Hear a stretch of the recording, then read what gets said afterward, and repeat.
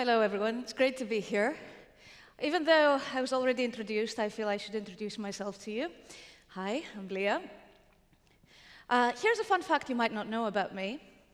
I'm originally from Greece, and specifically from the island of Lesbos, which technically makes me geographically lesbian, probably one of the very few you'll ever meet. In other news, I like making stuff. You might have used some of my work. Most all of it is on GitHub. I'm an invited expert in the CSS working group. My day job is doing HCI research at MIT. HCI is just a fancy term for usability. And I've written a book. Uh, people like it on Amazon. And actually, there's a, it's one of the prizes for the competition afterwards. So go to the competition and you might win one of them. So, CSS variables. Not to be confused with Sass or less variables, completely different things. So the first ever CSS variable we probably got was current color. It came from SVG, and by now it's supported everywhere. The way it worked is it always resolves to the value of color. So if I change the color property here, the, color, uh, the, the current color in the gradient changes as well. However, even though this is great, this was great before we got native CSS variables and we could hack a lot of things with current color, as you can imagine, it's very, very limited. So CSS variables are kind of an, an, an, expansion of this concept. It's like current color on steroids. CSS variables are basically custom properties that start with a double dash, like this. And we, use, we refer to them like this. And we can use them everywhere. So basically, I can replicate the functionality of current color like that. Before I move on, um, I'm sure you might be thinking, this is a terrible syntax. A double dash? That is disgusting. Why not just use the dollar or the at sign like less and Sass? So there are two reasons for this. The first is that we want people to be able to use less and Sass variables and CSS variables. As you'll see in this talk, CSS variables do a lot of things you cannot do with less and Sass variables. So the, the idea is you keep using your preprocessor of choice for the things you can do with preprocessor variables, and you use CSS variables for the things you cannot do with Sass. So because the syntax is different, you can use the dollar variables of Sass, and you can use the dash dash variables of CSS, and they both work together just great. You could even have a, a dollar blue Sass variable and set it a set, a set, and set a CSS variable with it, and it would just work. So you might be thinking, okay, I understand that the syntax had to be different, but why does it have to be so ugly? So the other reason is we wanted something that is compatible with existing CSS parsers. And CSS properties can only contain letters and dashes. So we needed something that A can be parsed by existing parsers, and B will not clash with any properties we define in the future. And that's where the double dash comes from.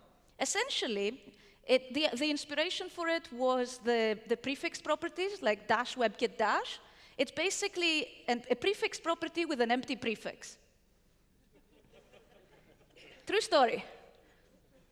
So, after this little parenthesis, you might be thinking, okay, you replicated current color with CSS variables, but I, could, I can do that with current color and have wider browser support. So why are CSS variables useful? Why should I care? Let's define another property, corners. And we can go here and say 100% minus whatever value corners has. And now, I have made another custom property that controls the size of these corners that I can use anywhere. And you might be thinking, okay, in this, in this case, you could just write 20 pixels right there, uh, or 1em, or whatever. But you haven't really gained anything, right? However, when I say anywhere, I mean anywhere. I can take this corners declaration and put it in an inline style, and it still works. And since I can put it in an inline style, I could also set this with JavaScript. And actually, the last section of this talk is exactly about this, all the cool things we can do when we combine CSS variables with JavaScript. Because that's the biggest difference of CSS variables and Sass variables. CSS variables are live. They can be updated at any point, either by a pseudo class or JavaScript or inline styles, anything. So beyond the syntax of the double dash to define the variable and the var function to call it, there's also another thing, which is the fallback value. Uh, let's say deep pink here, and let's give this black or whatever. Um, and this fallback is applied when the variable is not set, which is also useful, and we'll see some caveats later on this talk. So the first takeaway is that CSS variables work exactly like normal CSS properties. In fact, the spec for it, for them, is not called CSS variable, variables, it's called CSS custom properties for cascading variables. Yeah, it's kind of a long title. So here's a simple uh, HTML structure, just six divs, uh, three parent divs and three child divs. And here, and I'm using, I'm setting um, a dash dash outline variable on the first one, just this outer div, the white one. And I'm also saying that everywhere that the outline variable is set, set the outline property to that. So you might have noticed that even though the inner div doesn't have any dash dash outline set, it still gets an outline. And the reason is that CSS variables are inherited properties which is useful in many cases. For example, you can set them on the HTML element and access them from any element. But in, in some cases, you might not want this behavior. For that, you can use the universal selector and set them to initial.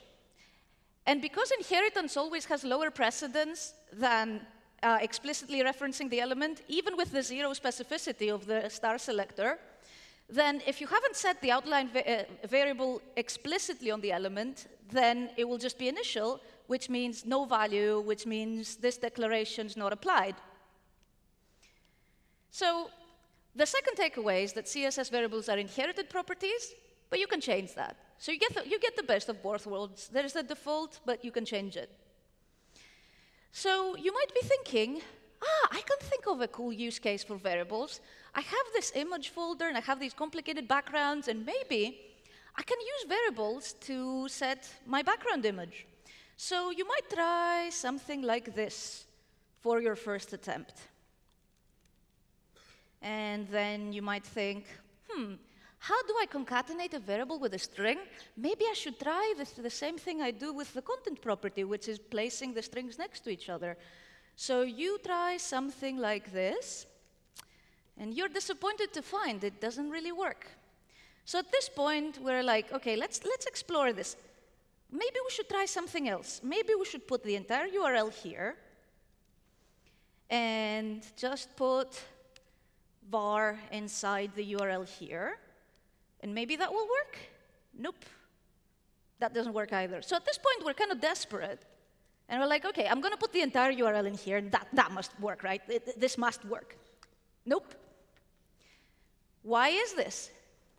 So these are three different issues with three different reasons. The first one that we tried is a CSS limitation.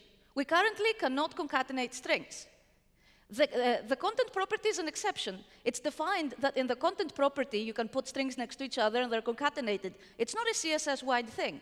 We will probably eventually get some syntax to do this, but right now we don't have any. The second one that we tried is a CSS bug. The URL function is very peculiar. It has very weird parsing rules, one of which is that if you see a closing parenthesis, uh, then the whole thing is terminated. So it does not really understand variables. It was written before variables, and it's an exception. You can use variables in any other CSS function.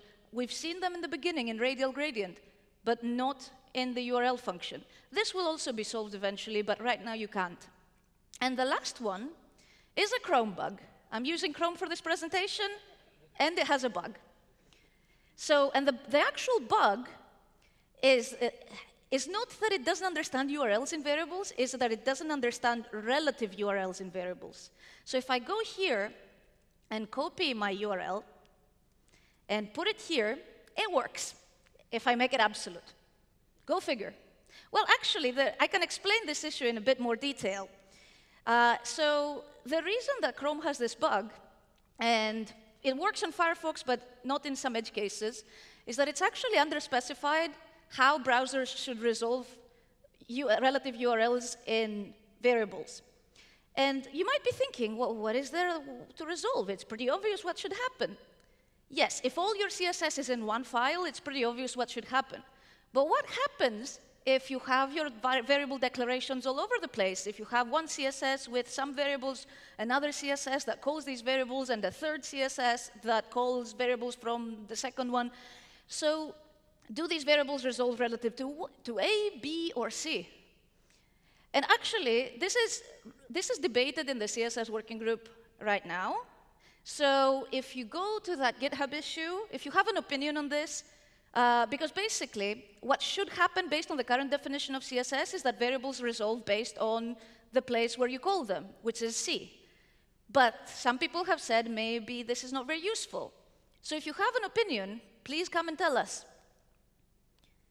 Keep in mind that most people in the CSS working group are not actually web developers, so they have no idea what web developers actually want. So input is very useful. So right now, until these issues are solved, CSS variables plus URL equals chocolate ice cream. Some more WTFs because this is CSS after all. An empty value is invalid dot, uh, dash dash foo colon semicolon is invalid. You, that's not a WTF, that's pretty expected. What might not be expected is that, is that this is valid and the value of foo is a, is a space character. Also, lowercase foo is different than uppercase foo. CSS variables are case sensitive, unlike any other CSS property. Eh. So I mentioned fallbacks earlier which is the second parameter to the var function. And you might be thinking, wait a second, CSS is cascading style sheets after all. Isn't the cascade supposed to provide a fallback? Like, can't I just specify a declaration before the one with the var, and that's my fallback? Not quite. So the, the fallback is applied not when, not when the browser doesn't understand variables, but when the browser understands variables, but they are not set. So, as you might imagine, if the browser doesn't understand variables at all, the var function is invalid, so the second declaration is ignored, and the first one is in effect. So if there's no CSS variable support, uh, the entire background will be red. However, if the browser does support CSS variables, but accent color is not set anywhere, or it's set to its initial value explicitly, like dash dash accent color initial, then we get orange. And of course, if we set accent color to a specific color, we get that one, otherwise variables would be pretty useless. So if accent color is yellow-green, we get yellow-green. So here's the thing. What if we set accent color, but we set it not to a color, but to something nonsensical for the background property? What if we set it to, I don't know, 42 degrees, which is completely useless in backgrounds, what happens then? How many think it's going to be red? Raise your hands. How many think it's going to be red? Nobody. Correct. How many think it's going to be orange? A few shy hands there? That's a good guess, but it's not correct. The actual color we will get is transparent. Which may seem completely crazy, but hear me there, there's a reason. And the reason is we cannot get, of course, we cannot get red. By the time we've gone to the second declaration, the browser has already thrown away the first one. We, we can't get red. We can't get orange because accent color is actually set. We have a value for it. What happens is that the second declaration becomes what we say invalid at computed value time. And this means we, we have thrown away all other declarations by then. We cannot use them. We cannot fall back to red. We cannot fall back to orange. What do we do? We go to our initial value, which for background is transparent. For uh, the color property would be black. For, um, you know, for border would be none. Every property has an initial value. We jump back to that. So, fourth takeaway, invalid at computed value time is a new concept that we defined when we defined variables, and it means initial. It's exactly the same as the keyword initial. So, oh, um, and these fallbacks is something we can also daisy chain. Uh, the fallback for caller 1 can be caller 2, and the fallback for caller 2 could be caller 3, and so on.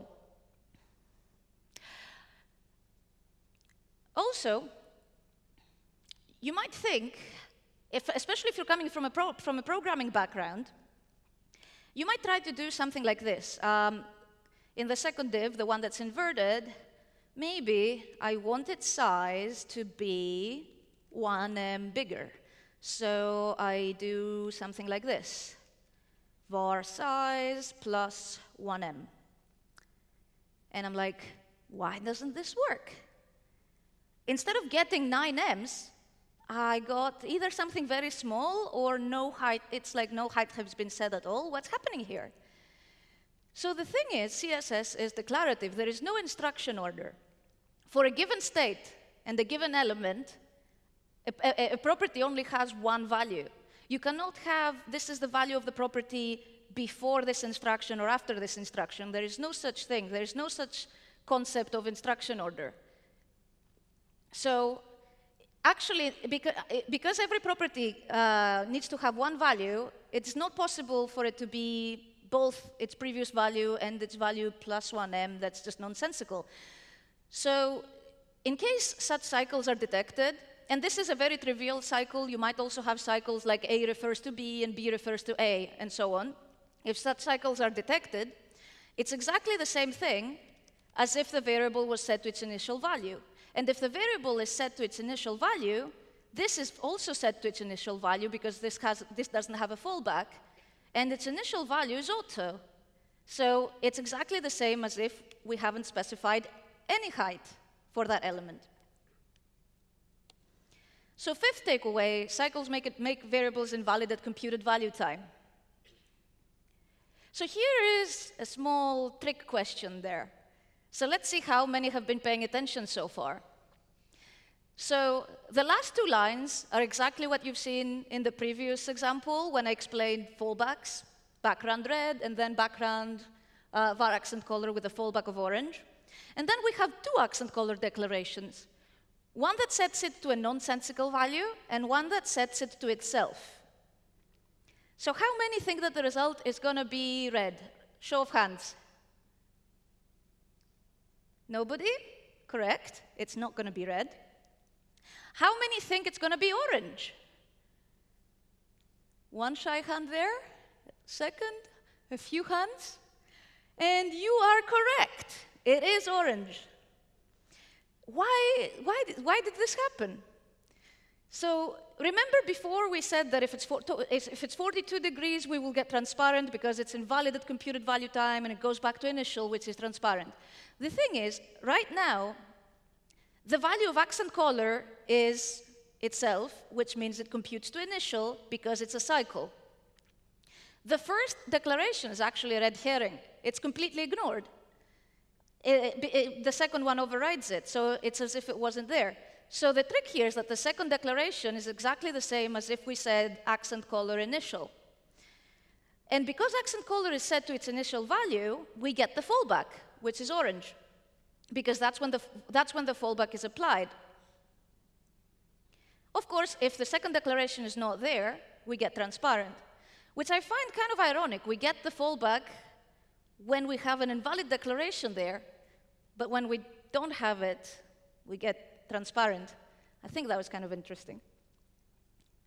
So I know that at some po at this point, many of you might be thinking, okay, all this is cool, but won't somebody please think of browser support? How many browsers really support CSS variables? Surely it's not many, it's probably just Chrome, right? I've heard this from so many people. Actually, it is not just Chrome. It's every single browser except Edge. And actually, you, even though I know that you might be thinking, oh God, why are these Microsoft guys spoiling my life continuously? I hate them. I want to change from being a web developer and go raise farm animals because of Microsoft. Don't think that way. Microsoft has changed. They're actually quite nice now. They're trying to support standards. They actually support some standards that other browsers don't. And specifically about CSS variables, they have announced that It's in development, and it will be in the next version of Edge. So very, very soon, every single browser will support CSS variables. And of course, until then, we have a lot of tools at our disposal. We have the cascade, as usual, background red, background var, which we can always use to provide fallbacks. We have at supports, which, as you can see here, is supported by every single browser, including Edge, since Edge 13. So if you want to apply some different CSS for browsers that support CSS variables and some different CSS for browsers that don't, you can use the at supports rule. And any CSS variable and any value works there. So I just use dash dash CSS colon variables just to remind myself what this is about. And of course, you can also use the not keyword to apply some uh, CSS to browsers that do not support CSS variables. And of course, as you can see here, this is red now, because Chrome does support CSS variables, so it's ignoring the entire at supports block. Another interesting thing about variables, and especially a, a, difference that CSS variables have from Sass variables, so, or less variables. Let's assume that every time I say Sass, I mean less as well. I'm not trying to like show preferences there. So in this case, we have a div that is sized um, 33 uh, VH, uh, sorry, 33 VW horizontally, 33 VH vertically, which basically means it has exactly the same aspect ratio as the viewport, and it's one third of the viewport. So we might, be, we might think, I don't like repeating this um, 33. Like, what if I want to set it to 30 and I have to do it twice? That's not very dry, right? So I want to set a variable that says size and I set it to 30. So then, I go here and I say var size vh, vw, and var size vh. And then I look at what I've done and I'm like, what? Suddenly nothing works anymore. So the reason this doesn't work is that variable values are basically token lists. The browser doesn't see this as a string that says 30 that it, we can just put next to VH, VW it sees it as a, as a number, and then it sees VW as an identifier. So essentially, for the browser, it, base, it, it resolves exactly the same as this, which is an invalid value. So width, width and height are invalid at computed value time. Actually, not even at computed value time. They're invalid values. And you just get their initial values, which is auto. So what can we do in this case? What we can do is, it's a little more syntax, but we can use calc and multiply the number with 1 VW. And of course here, let me copy this, and here we multiply with 1 VH. Yes, it's a little more syntax than Sass, but that's what you get when you have live variables that have structure to them. It's not just all uh, spitting out strings. You might think, what if I try to save myself at least one calc? So what if I say 30 VW here? So I set the width to just var size. And then here, I go and divide it by 1 VW.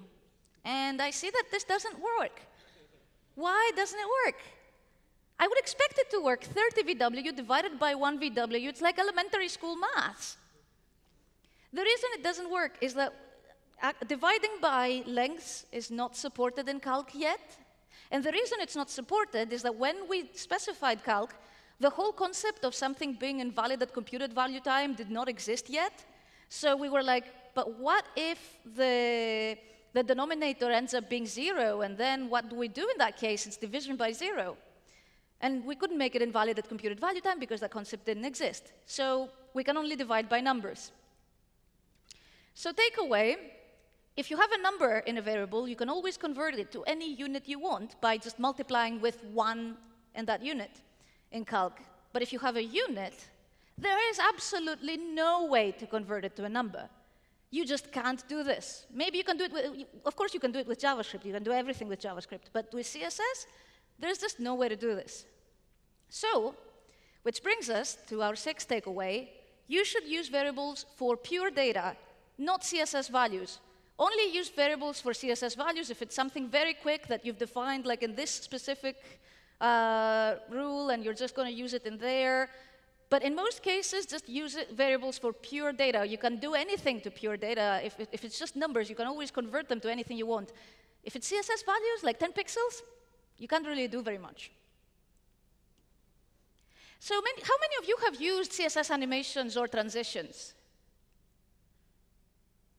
About half. The rest of you should definitely try them out. They're very cool.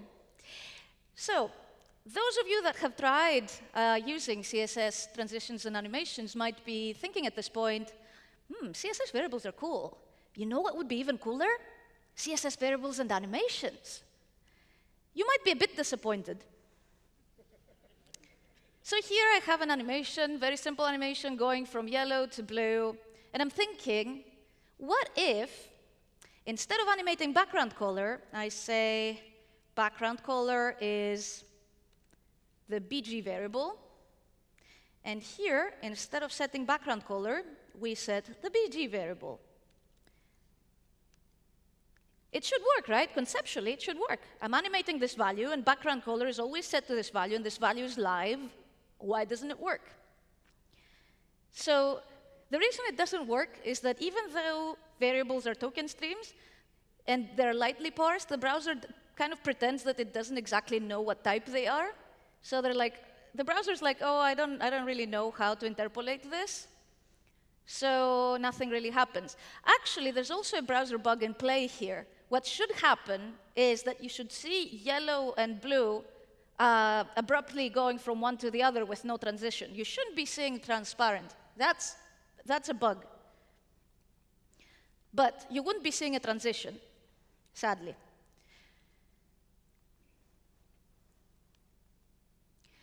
So this is the, the actual quote from the spec from anybody who is into that.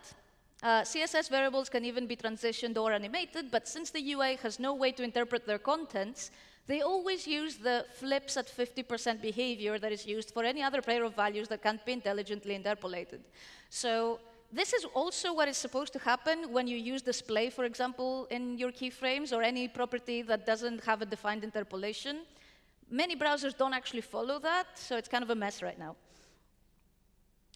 But yeah, at this point, CSS variables plus animations equals chocolate ice cream. Of course, um, oh, in the future, you'll be able to define what type your variables are by using JavaScript. So you'll define a CSS property, a CSS variable in your CSS.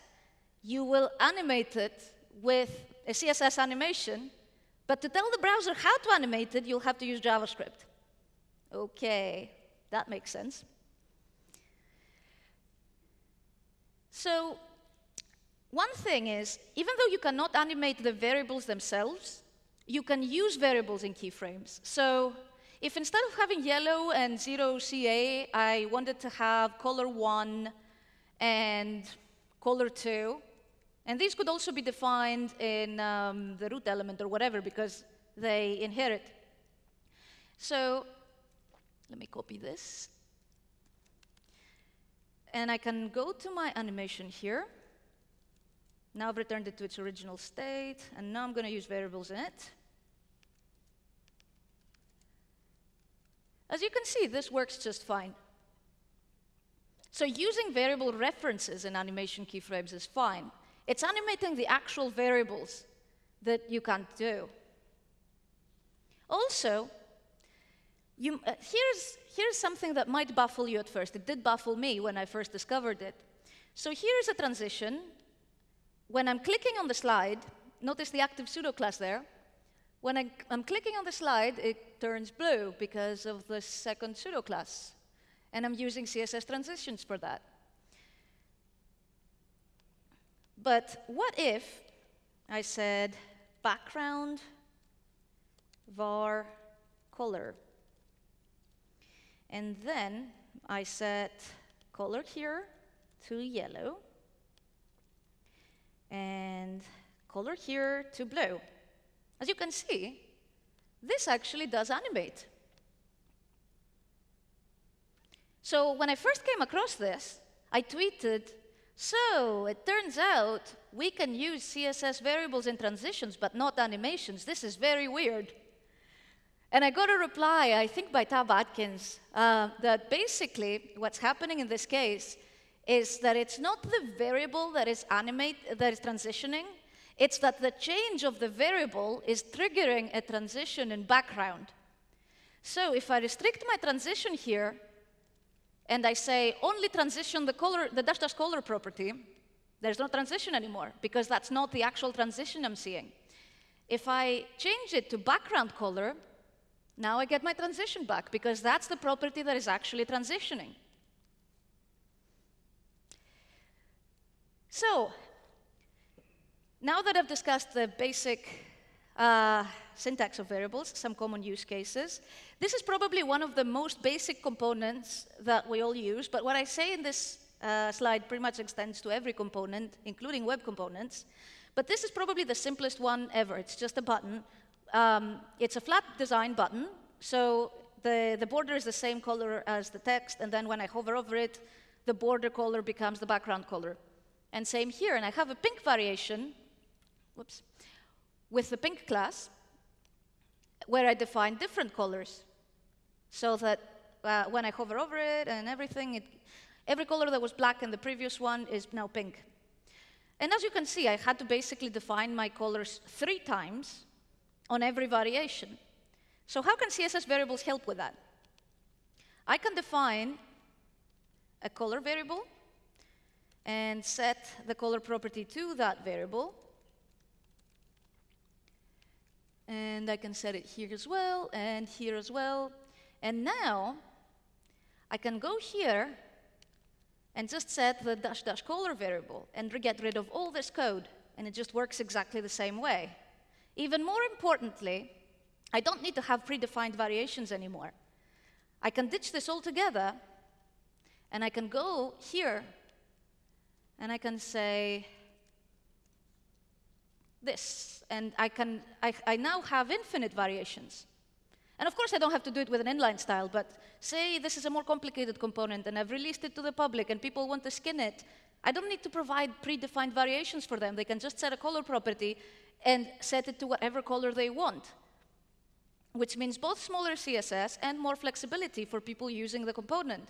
And also, it's not just about greater flexibility and smaller CSS, it's also about encapsulation. Encapsulation is a concept from software engineering, which means uh, basically that people using a component don't have to know how it works internally, and they can, they can use it, and its internal implementation can change, and they don't have to change their code. So Notice how the background just abruptly changes when I hover. What if I wanted to use a transition? And I wanted to say, uh, instead of using a background on hover, I want to use a, bo a box shadow, an inset box shadow, with no blur and a spread of one. And inset has to be after the color. Right. So as you can see, and let's restrict this to box shadow. So as you can see, now I've changed how the, how the hover works. And if, it was, if I was using, if people use, theming my component had to override my declarations, I would need to notify every single one of them that actually I changed how the component works. And now you don't override the background, you override the box shadow, and they would have to repeat my box shadow. Now, their existing code works. Notice, no, notice how I themed the second button by just saying color blue? It still works, even though I changed how the button component is implemented. So, eighth takeaway, CSS variables enable theming independent of CSS structure, which I think is very important, especially if you're, you're using third-party components or your developer, your, your JavaScript developer and your CSS developer are different people. Uh, also, one last thing, you might, be, you, might note, you might have noticed that I, I set the color to black here. This means that everybody theming my component has to override this uh, with their own color declaration, which is easy if my component is just a tag. But if it's like button dot my component uh, dot my framework, whatever, you know, um, some weird selector like that, they would need to have something with, with at least the same specificity, and it gets really messy. So it's actually better if I provide a fallback like this.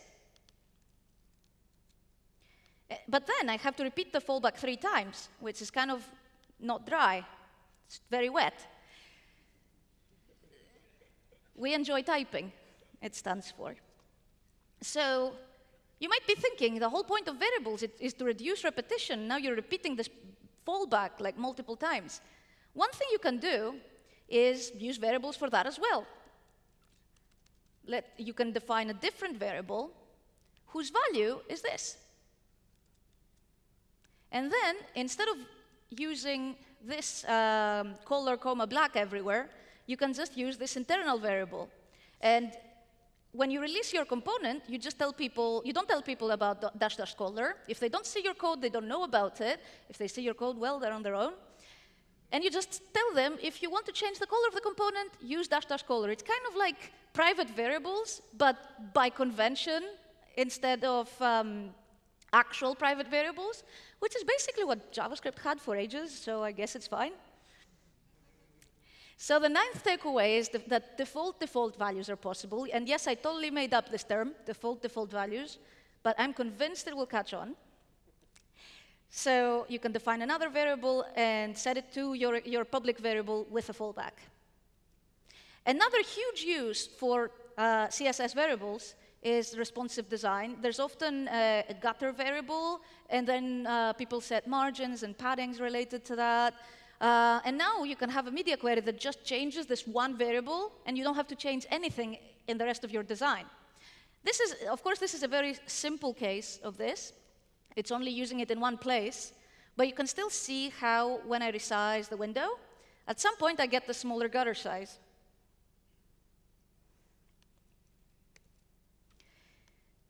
And of course, there are the, the, common use cases that you use Sass variables for. Uh, these are kind of obvious, so I, I, don't think they're particularly interesting. You can always use Sass for them um, uh, still, so it's. I think these are kind of implied. So the tenth takeaway is that CSS variables make responsive design easier. So after the common use cases, let's see some cool use cases. Um, Prefixed properties are one, uh, are one of them. Sure, um, many people use auto-prefixers or prefix-free or something like that. Uh, but these days, we're moving towards not having that many prefixed properties, so it's kind of overkill often to use a, an auto-prefixer for like this one property. So CSS variables can help with that. Let's, um, so you can use the universal selector, uh, use the trick I mentioned earlier about canceling inheritance, um, which is setting the variable to initial. And then you, you, you set both of the properties you want to replace with that variable. And now I can use that variable uh, everywhere, and it works exactly the same as the normal clip path property. So let's try doing a clip path here, uh, a polygon. Uh, let's hope this works, because writing a clip path on stage is kind of tricky. Uh, then 50% horizontal and 100% vertical. I'm trying to do a diamond, like a rhombus shape. Uh, and then zero horizontal and 50% vertical. OK, that is it. That's it. It worked. And now I can apply it on any of these divs I want. You can see it's not uh, inadvertently inherited. Um, I can apply the same clip path everywhere. Basically, it works exactly the same as the normal clip path. The only caveat is that you cannot animate it, which is a pretty big one because clip, animated clip paths are pretty awesome. But if you don't need animation, that could be a solution. So CSS variables enable you to set multiple properties at once if you use this trick. Also, CSS variables enable you to set property shortcuts, kind of like um, mix-ins with only one property. So in this case, I, I wanted to have a purple shadow and only define the x, y, and uh, the x, y, and blur, of, and blur offsets instead of having to define the color every time. So I used the same trick for canceling inheritance. You'll see it in all of these demos. And I, say, I set box shadow to whatever the value of purple shadow is, if it's defined, plus Rebecca purple, because I wanted the color to always be Rebecca purple. And then I can provide uh, only the extra um, parts that are missing. Of, of course, like, I could always do something like this instead. And here specify box shadow with a var of this color. It's two ways to do the same thing, and which one's better depends on your specific use case and how big this part is, and it, you should use critical thinking and decide what's better for your specific use case. But it's interesting to keep in mind that CSS variables let you create single property mixins, like shortcuts to properties, what programmers would call function currying in a way. Like it's kind of similar to function currying, property currying. Uh, CSS variables also let you create your own longhands. Like box shadow is a property that just has uh, that we, we only have box shadow. We don't have box shadow X, Y, blur, spread, all those separately, but we can hack it with CSS variables. So here I've defined all these property, all these variables. I've set box shadow to all these variables. All of them have fallbacks. Notice that in this one, the fallback is actually a white space character, um, except blur, which means I have to set at least blur, and then I can set all the other ones. So let's set it to 10 pixels, and then let's get box shadow color.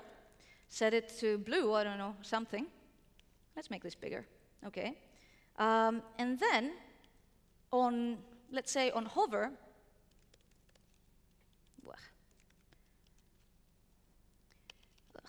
this, I think I've run into a small bug with my editor. Let's hope this works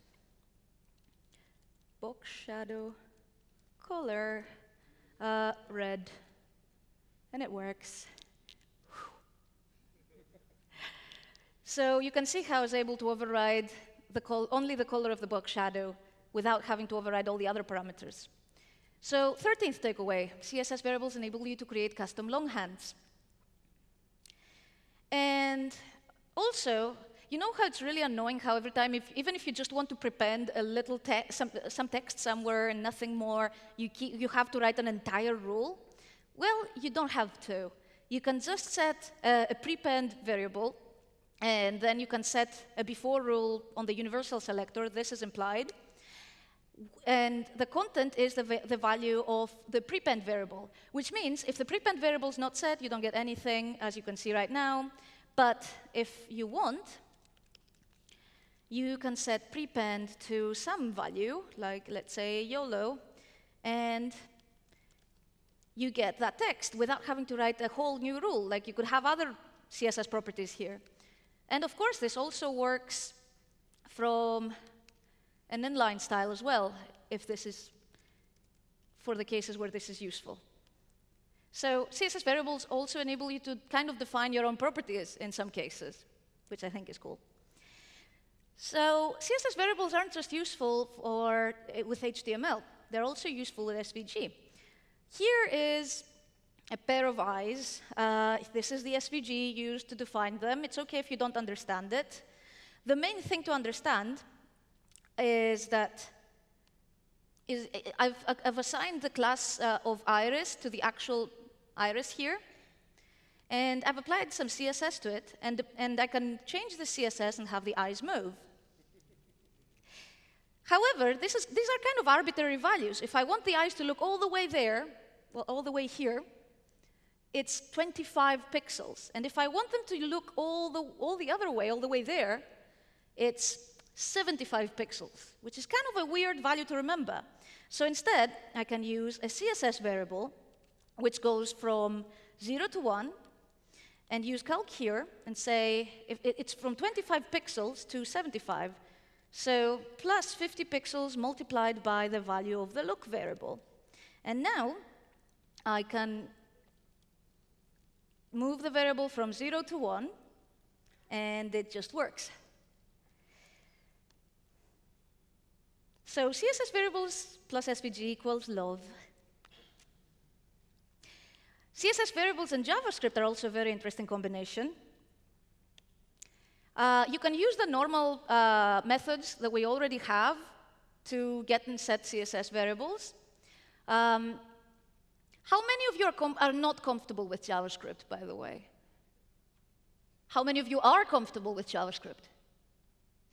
How many of you did not raise your hands in any of the two questions? anyway, for those of you that are not comfortable with JavaScript, I promise that the code in this section is very short, and I will, I will explain it as I go. So, uh, get property value lets you get um, the value of, the, of whatever CSS property you pass into it from the inline style. If, it's, if, if your property is not necessarily on the inline style, you can use uh, get computed style with the same function name. And to set a variable on the inline style, you can use set property. Why is it set property and get property value? I have no idea. I think it should be get property, but mm, who knows? Uh, and just with these few functions, we can do really cool things.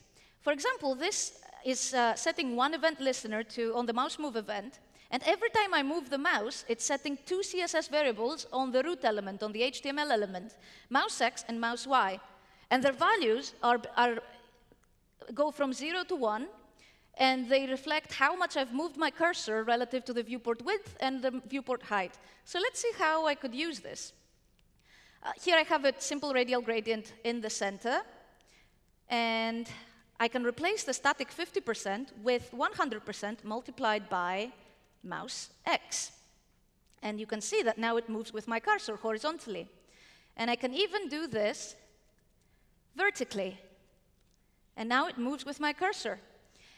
And I can change my gradient, and I, I don't have to change my JavaScript because my, my, my, my, variables are generic enough that I can just transform them as I need in my CSS, which is excellent if the CSS developer and the JavaScript developer are different people, because you don't have to go to the JavaScript developer and say, hey, I actually changed my mind. Could you, like, make a small change there? And they're like, bloody hell, you keep doing this. I'm so fed up with you, you designers, you keep changing, um, you keep changing your mind, and I can't do this anymore. No, no more of that. You just tell the developer to set some basic CSS variables and you use them in your CSS as you see fit. And if they're generic enough, you can use them in multiple cases. Here I've used them for um, a gradient. Remember this? I can actually change this variable to mouse x. And now the eyes move with my mouse cursor. And it's exactly the same variable. I didn't have to, to, to write any new JavaScript code for this. Also, I can now use the values of inputs in my CSS. If I just, if I just write a few lines of JavaScript that set a value variable on every input element. So here's a slider. It has a gradient on it. It's just an input type equals range that is a bit styled. And it has this gradient on it. And the gradient is static. But I can change it to be dynamic. So the values of the slider are 0 to 100. So I will multiply 1% with the value of the slider. And now you can see that as I move the slider, the gradient moves, which can be very useful for some styled sliders.